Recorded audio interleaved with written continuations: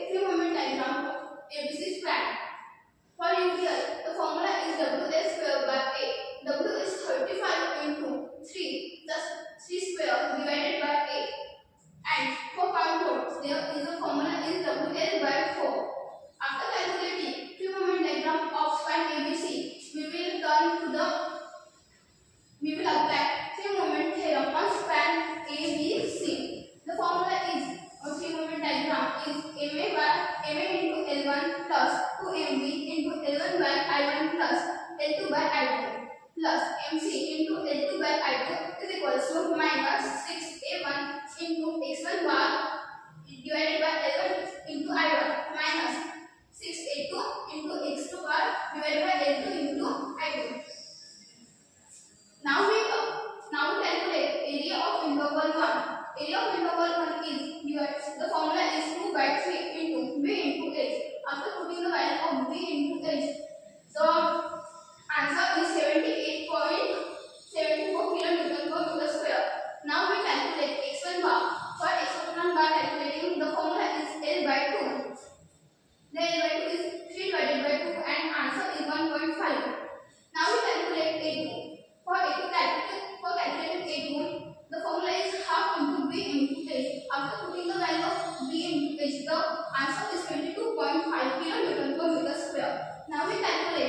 to bar is to bar is L2 in L2 by 2 and the answer is 1.5. Now we put the value of A1, X1 bar, A2 and X2 bar.